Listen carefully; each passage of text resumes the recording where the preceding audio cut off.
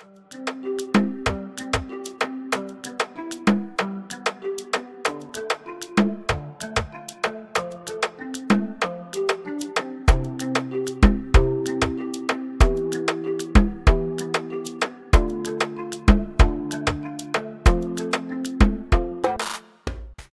have promised to update my family on this platform on the Oromoni's case until justice is served. One of the accused has exonerated himself from the evil. Make I take on through the details. Burujis Kashamu's son has no hand in Oromoni's death, says family. Hello, my amazing family. I finished school at 20, but got clarity on purpose at 35, only four years ago. What I did in the 15 years period is not what matters. What I do going forward does, still discovering and evolving. You cannot wear a wristwatch and be asking for time from someone else. Please don't forget to give us a like or thumbs up if this is the first time Thank you.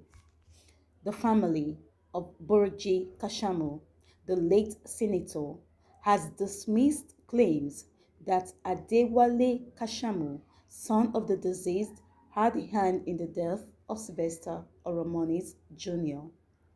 Oromoni, the 12-year-old student of Dowen College, died a few days ago after he was allegedly attacked by some senior colleagues for refusing to join a cult group. The student was said to have mentioned the late lawmaker's sons alongside four other students before he died. But in a statement signed by Mutario Kashamu, Adewale's family said he did not beat or bully Oromoni as alleged.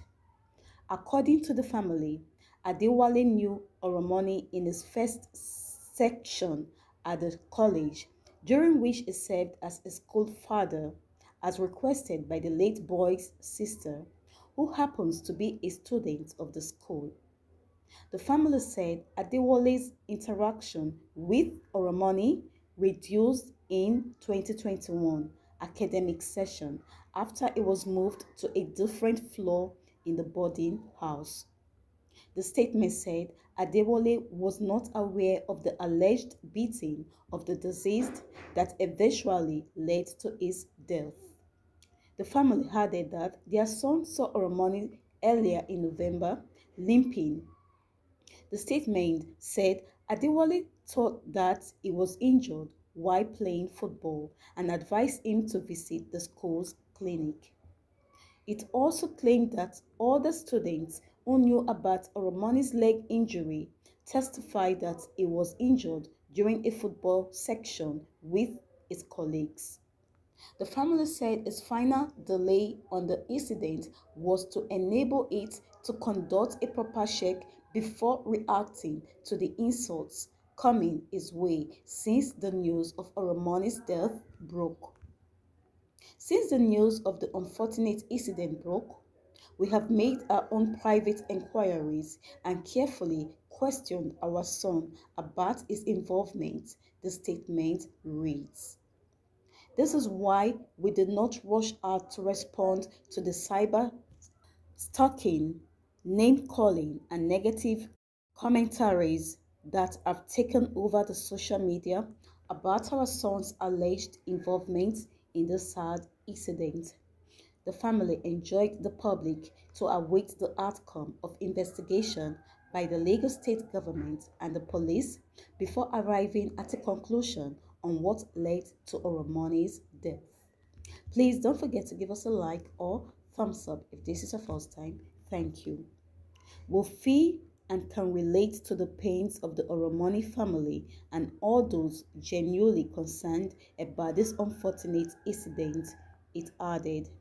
That is why we wish to express our readiness to cooperate with the parents of the deceased, the police, the Lagos state government, and other relevant stakeholders to get to the root of this matter so that the cause of justice will not only be served but manifestly seen to have been saved. However, it is regrettable that of the five names that were mentioned in relation to the incident, it is only Kashamu's name that seems to ring a bell. Consequently, the family and his late patriarch, Senator Buruji Kashamu, of blessed memory, have been the butt of irresponsible, falsehood-based, and unwarranted attacks even when the full details of the incident are not yet known. There is no denying that the fact that Adewale Michael Kashamu is one of the children of the late Senator Buruji Kashamu, but no family or parent will send a child to school to be involved in any form of crime or criminality. Just like no parent would be happy to be informed that a child he or she sent to school to learn has been molested or killed under any guise. That is why we wish to appeal for restraint on all sides. The cyberbullying of our family will not help in any way to solve the bullying in schools that society through the ages has desired to stop. On our part, we have continued to engage our son Adewale Michael Kashamu and he has continued to maintain his innocence. Please don't forget to give us a like or thumbs up if this is your first time. Thank you. What can I say? So many thoughts are running through my head.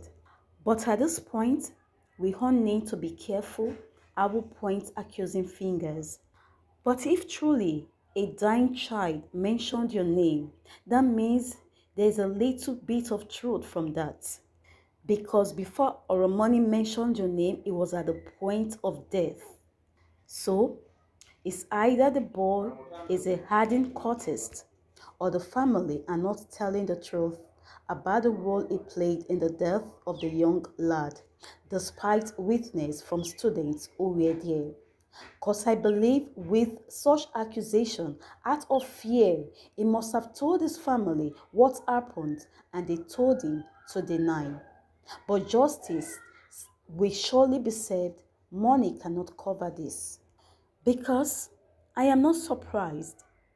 Is it not the same Buruji Kashamu that was involved in drug-related offenses in the USA? When the Interpol wanted to pick him up, he locked himself in the toilet and refused to come out, who later died of the COVID-19 last year. Because the apple cannot fall far from the tree. Someday soon, the truth will surely prevail. I hope you are not aiding and abetting for your son. Why was his name mentioned among the other four? Something is definitely akin. All I know is that the police are also involved in covering this up. What will it take the police to pick up the boys mentioned and interrogate them separately?